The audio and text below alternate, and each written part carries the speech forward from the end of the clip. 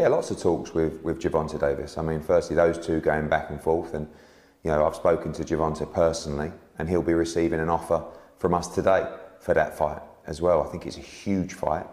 Could happen in the UK, but we're looking in America. You know, you've got two fiery characters. Gervonta is an outstanding fighter, super featherweight, really, coming up to lightweight and boxing at 140, but never boxed at 147. And it's a really tough fight for Conor Benn. I mean, Gervonta's a pound for pound great. But I like the size advantage in that fight. You know, it'd be the first time, as I said, for a couple of fights that he'll be fighting someone smaller than him. But he can really crack, and he's an outstanding fighter. So it's a big ask for Conor, but this is what he wants. He wants those kind of tests. And I think Gervonta Davis against Conor Benn is a fight that can really light up America and the UK. What sort of time frame are you looking at in terms of month of year? When April time. It has to sit within the schedule, of course, but April, May, something like that. You know, I think Gervonta's been looking for a date for a while now. Conor Benn fresh, ready to go after those 12 rounds. Let's make it happen. Eddie was looking at April or May in the UK or the USA. Well, Conor's got licensing issues over here, but the board only get one shot at the appeal, and I believe the result of the appeal should be rendered soon. And obviously, it's an appeal that they win, and then they'll have no choice but to license Conor. So it could happen, but it's all about scheduling and timing because April or May is when Eddie was looking to put the fight on. Would it sell in America? I was saying Conor's not a big draw, but would it have to sell in America? It all depends on the time scheduling. You know, I have a feeling that a sizable contingency of the British audience, whether it's um, 4 a.m. or they pull it back a little earlier to accommodate the time zone over here. I have a feeling, you know, the numbers that it may lack in America could be compensated by the numbers it does in the UK. Eddie was saying it'd be good for Conor to have the weight advantage because his last opponents were bigger. But if Tank has put rehydration clauses on Barrios and Ryan Garcia, he might do the same to Conor or make it at a catch weight. How much are they willing to compromise to make the fight? Conor and Eddie is the question. Is Conor just like the go-to guy now? Because Bill Haney was post-fight after Conor outpointed Pete Davidson weekend gone, giving him props, saying that his family, referring to his dad, are legends in the game, and they'd like to make a fight. It was the performance you like, but we know that you're a, a real player in the game. So I want to come over here and tell you congratulations. And, you know, maybe we can do something. So you know I'm king for that fight. Hey, listen, all due respect, brother. No, You know what I mean? Thank you. Absolutely. I appreciate it. Hopefully, I'm ready. I'm ready to go. I know All I'm- respect to you and Yeah. your family. You, you are, you Yeah. guys are uh, uh, uh, legend, legends in the sport, and of course, it will be an honor and a pleasure if that time presents itself. And you know what I mean. Thank you. Thank you. Thank you, no, thank you know for what I mean? coming. Thank you guys for inviting. me. No, I appreciate it. But it seems funny that after Bill makes a informal but face-to-face approach, that Tank makes his pitch, saying after that last performance, all he needs is a couple of weeks and a weekend in Turks, and he'll be ready to give Conor that work. Now, Floyd Mayweather and Haney's have been going back and forth, but that's nothing uncommon across the pond. They're always going back and forth. Not many fights are produced off the back and forth, but they're going back and forth. So, you know, are they trying to get one over on the Haney's? Look, we got the fight before you. Because you never know with TMT. Ryan was declaring that Floyd was his advisor.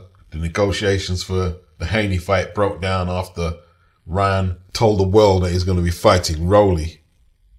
The next thing TMT announced Rolly versus Pitbull Cruz. Ryan got played. Is Tank wasting everyone's time? It would be better if a representative from TMT was talking for him. Either Floyd or Leonard. You might be able to take it a little more serious. But Eddie sent the offers off. I keep hearing talk of people saying that I should retire or I'm gonna retire soon or whatever. I ain't retiring anyway. I've got two fights with Usyk for the undisputed twice. Then I'm gonna fight AJ at least once, maybe twice if there's a rematch if he wants one after the first battering I give him. And then I'm gonna fight Ngannou again, and that's just a start. So there's five little fights for you to uh, whet your appetite with. This is one receipt that came about last year. The AJ fight was dead after he lost to Usyk twice and a fat man. He's not fighting AJ. And then today, total change of mind. The inconsistency is baffling. All these people saying I should retire. Gonna fight Usyk twice. Then he's gonna have two fights with AJ, depending if AJ wants another fight after the first battering he gives him, and then Ngannou.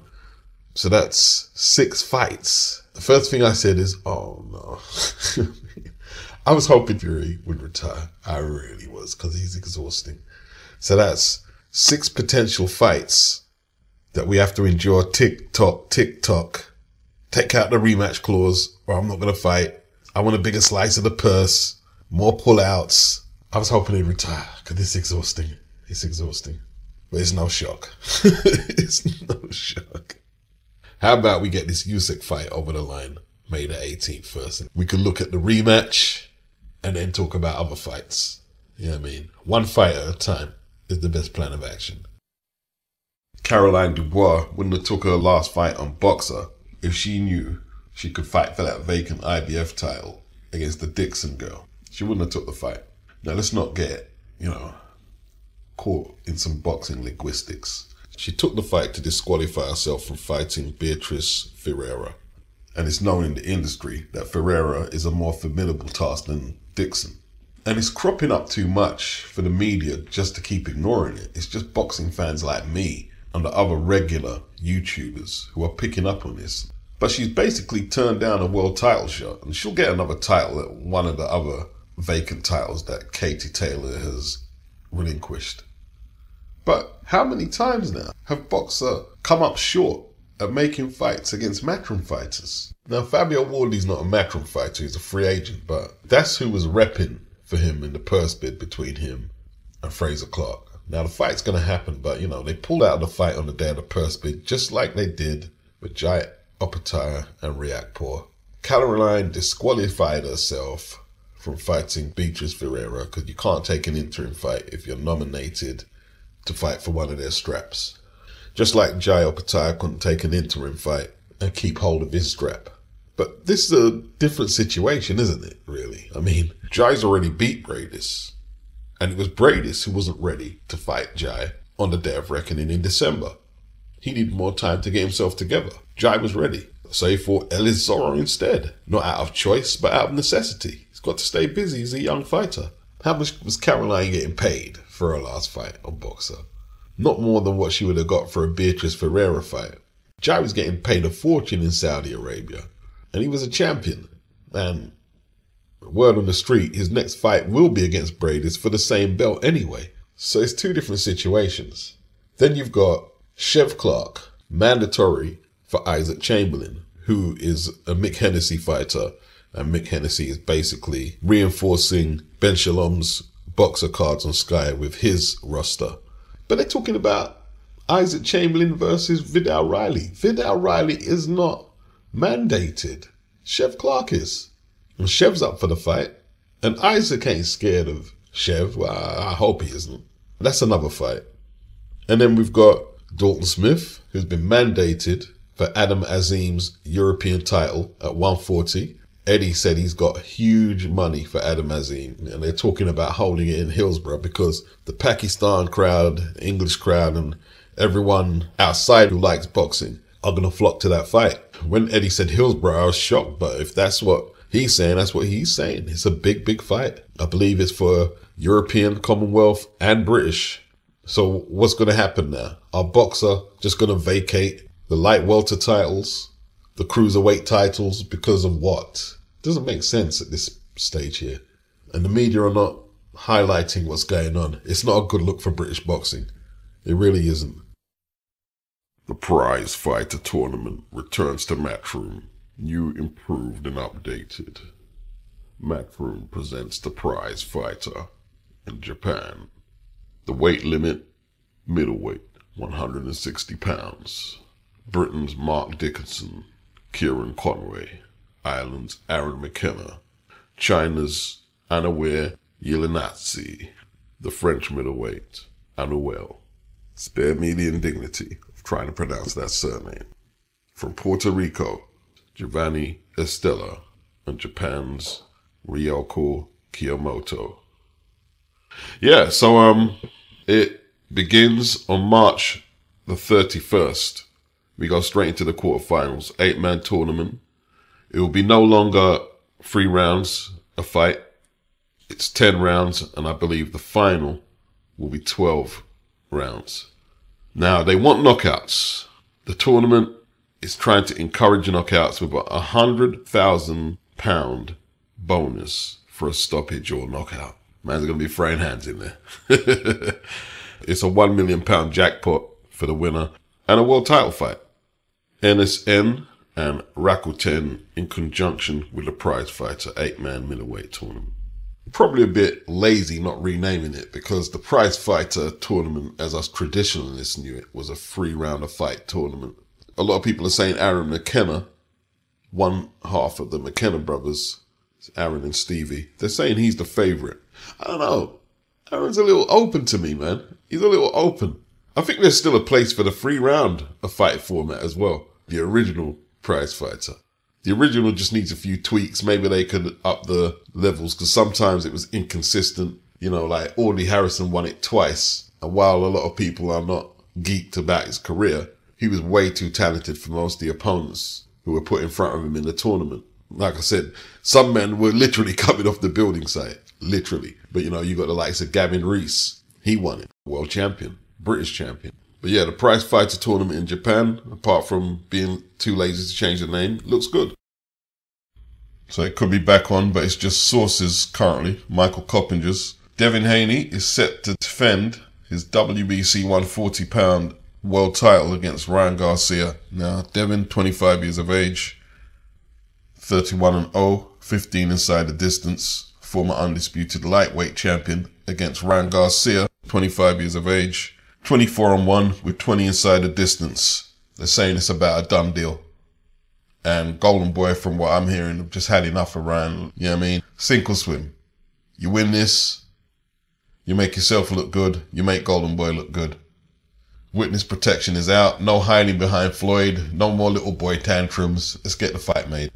Eddie Hearn said it's the right fight for Devin, the right fight for DAZN. Devin told Ryan to make him a proper offer, and Ryan is sending messages to Eddie. Eddie said he's not negotiating with Ryan. He's talking to the relevant parties, which will be De La Hoya and Robert Diaz. Ryan is a hype job, in my opinion. It shouldn't be this big fuss about Ryan challenging for a belt. He's not the champion. He never has been a champion. But with his social media following and the hype surrounding him, it would be good exposure for Devin, definitely so. They say there were three apiece in the amateurs, but Devin has advanced and progress since then where Ryan hasn't made the improvements that Devin has in no way, shape or form. He's avoided Devin before at 135 when Devin had the WBC strap. But he does have a puncher's chance, I guess. You can give him that. We'll wait for confirmation. Ryan Garcia, Devin Haney, let's talk about that. I know that's a fight you wanted to make, and it's been a bit of a roller coaster. Ryan went training with Floyd, all yeah. of a sudden wanted Rolly, Rolly fights someone else, and now it's like, yeah, go on then. It seems to be on. What can you tell yeah, us? It's very close. I mean, Bill Haney's leading that um, from our side with DHP and Matchroom. He's been talking to Oscar non-stop. Um, the, the path has been quite clear. Ryan reached out to me on multiple occasions to say he wants to fight. And I don't know him well enough to believe him, but he was good to his word. And uh, as I understand it now, speaking to Bill last night, the fight is close. Let's see what happens over the next couple of days. Massive fight, massive fight for DAZN, massive fight for Devin, massive fight for Ryan. The kind of fights that should be getting made. So fingers crossed. Not a good night for Jose Pedraza, 34 year old veteran, 29 6 and 1, a former super featherweight titleist hasn't had a win in his last four. He's fought the likes of Jose Ramirez, Richard Commey, Vasyl Lomachenko, Tank Davis, and more. And he was stopped by top ranked prospect Keyshawn Davis, 10 0, 7 inside the distance, 24 years of age. The 10 year age gap really looked evident yesterday.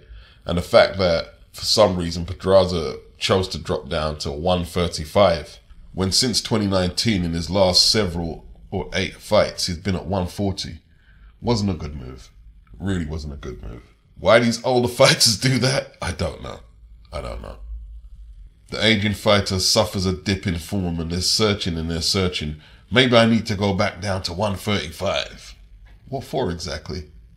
Keyshawn's body punching wasn't something I was um expecting to be so impressive. But yeah, he hooked to the body viciously and he took the starch out of Pedraza's legs. Pedraza, I think his game plan was to attack Keyshawn's body and smother him out, but he couldn't close the pocket. He couldn't close the pocket and him just plodding forward like that just left him open to the counters and Keyshawn, he varied up the speed as he walked Pedraza into traps. Some nasty uppercuts went in there, some hard hooks to the head. Pedraza was bleeding everywhere and taking a battering. And I think in the third, he was hurt for the first time. And then the seventh, Keyshawn finished it clinically, clinical finish. I think Pedraza wanted to protest, but he was wise not to. He knew he was thoroughly beaten. Thoroughly beaten. Best win of Keyshawn's career so far. You know, he was calling out Teofimo Lopez. And after Teo's fight with Jamaine, Teo was leaning over the ropes and they were going back and forth. I don't think it's going to happen next. Look, man, Lou DiBella, Terence Crawford, Michael Benson, John Scully, Tim Bradley are a few of the industry who don't believe Teofimo Lopez deserved to retain his 140 pound title yesterday. And I'm definitely one of them as well. 117, 111, 115, 113 twice. Nah, I just can't see that. I can't see that. Crystina Poncher and Mikaela Mayer on the commentary duties were totally inept and biased, incompetent. I wasn't impressed one bit. They seemed to just ignore Ortiz's work. Ortiz would land and they'd just ignore the work and go to when Teo was landing or what Ortiz wasn't doing. Now they did acknowledge the fight was in the balance at the end. They did acknowledge that. But the commentary was horribly biased and some were saying that Tim Bradley, even though he scored it for Ortiz, he was making excuses for Teo all the way through. You know, Teo couldn't cut the ring off, yeah? He was throwing one punch at a time. The speed advantage, and I'm talking foot speed, hand speed, all belonged to Ortiz. He couldn't miss that straight left from the southpaw stance all night, flushing Teo's face. The spin move he was doing, well, it's subjective, like Lennox pointed out on the hangout I did post fight. When Lomachenko does it, referees don't seem to get involved. But the referee warned Jamaine, and he kept doing it, and it looks like the referee didn't know if he should admonish him or not, and he stopped admonishing him. Although Jamaine wasn't doing it as much after he was warned. He was just spinning around him. He wasn't actually using his hand to spin him. He was just outmaneuvering him. Every time, he'd just roll out to his right. Every time Teo tried to trap him. He was normally first to the punch. The hand speed difference was glaring, absolutely glaring. Like, Teo did well in the round. There was a head clash and Ortiz started bleeding from a cut. The cornerman done a magnificent job. The cut never opened up again. It looked pretty bad, but it never opened up again. It is a bad scorecard. I didn't like Ortiz's style from an aesthetic argument, but it's amazing how many people think that throwing ad hominems at the runner negates the fact that he outpointed and outscored Teo easily in there. Easily. Just easy to score. Hey, people, people, humans, humans, listen up, man. Listen up. Yeah, yeah, yeah. Y'all can boo all you want. Suck a dick, no homo. Listen, I know. Relax, relax. Let me, let me, let me go back on this, okay? We cannot, for one second. Let me speak. We cannot, for one second, claim these people, these fighters that don't want to come and fight. You go to blood, sweat, and tears. The three code of conduct, Sugar Ray Robinson Award. If you ain't ready for this life, get the out of my sport. I am a champion. I bleed for this. I sweat for this, and I cry for this every time. Jesus is real. And, and all I can say, may God giveth, God taketh. Blessed be. Hey, people, humans. He really tries to be this enigmatic talker and he just hasn't got it. He's just not an articulate cat. And, you know, you put him in with a southpaw with decent movement, a decent jab like Sandor Martin and Jamaine Ortiz. He's got all types of issues. And then when he got booed, the whole sucker dick, no homo thing, you know, I, I don't know. Too focused on Eddie Hearn, too focused on Terence Crawford. Looks like he's got to get his mind on the job. But he's got the mandatory out the way. They better select very carefully the next voluntary or that belt will be gone. Make sure they get a plodder who's screaming, hit me, hit me, hit me. Get one of them type of opponents. I think Jamaine Ortiz and his team were naive to think that boxing operates on you score more points to someone and you get the verdict. He didn't win no new fans with his performance and he goes home without the belt. It is what it is, you know, and um, I know some people are going to disagree, but the whole you've got to take it from the champion. No, it's not in Queensberry rules that you have to do that, but what it's trying to tell you is if you're a challenger against the champion, you want to wrench that shit out of his arm and put it beyond dispute. Because a few people are going to argue that Jamaine won by Saturday and the bell rings for a fresh batch of fights, it will be forgotten. And that's that. When you get your title opportunity, you got to think about what you're doing. What is likely to work and what's likely not to work. Or you could just be happy that Terence Crawford thought he won, that Lou DiBella thought he won, that Michael Benson thought he won, that I thought he won, that a lot of people thought he won. Well, yeah, cool. As long as you're happy with that, then don't change nothing. I'm not making a judgment. It's a decision. People have decisions to make in life. The reason they say you've got to take it from the champ, because in the old school, if you fought like Jamaine Ortiz, you wouldn't be booked no more to fight. The promoters would not use you. They'd use you as a sparring partner. He was the sort of boxer, Tommy, who could give anybody a fight, go the distance with anybody. Little bit of a spoiler. He could make people look bad if he wanted to. There's a lot of good left hand work going on in this, which is something you don't often see in these, these old heavyweight championship And fights. he's not running. He's right there fighting with him. He's He's, very range. clever. He's in range to get hit, but he's very elusive and he's moving.